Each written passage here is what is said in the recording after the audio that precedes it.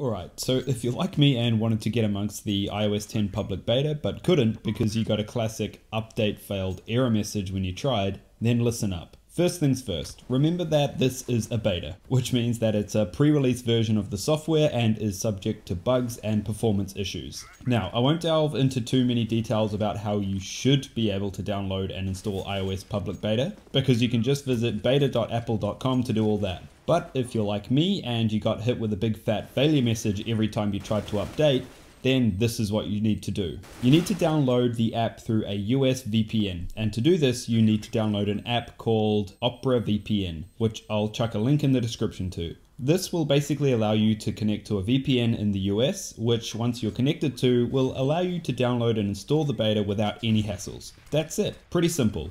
I hope this works for you. Let me know if it does or doesn't in the comment section below, and don't forget to hit that thumbs up if you found this video useful. Thanks, and I will see you guys next time.